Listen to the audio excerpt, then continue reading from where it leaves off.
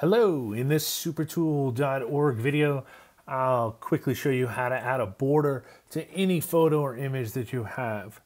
So this is an example of a before photo, and this is the after. We've added this big, thick black border on the outside with an inner white border. Really makes the photo pop now. So uh, pretty easy to do. Just go to the website, upload your uh, PNG or JPEG image file um, choose the color of the frame, choose the size of the frame, and then download, all free. Um, so to begin, you can click the video in the, the, the link in the video description below, um, or you can type in this URL uh, in your web browser. So that's basically it. Let me give you a more, a slightly more complete example.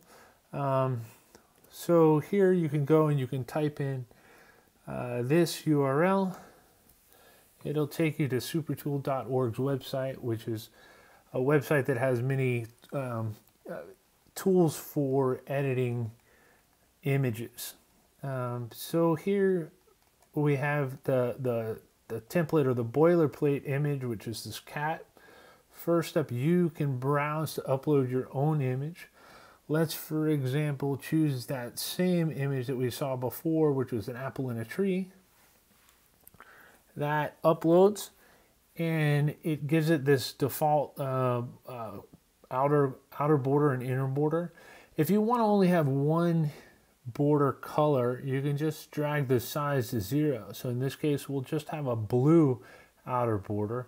And let's say we want to make that uh, fairly big. Um, so you can just drag the size there uh, to taste and you'll have um, a nice big, thick, dark blue border.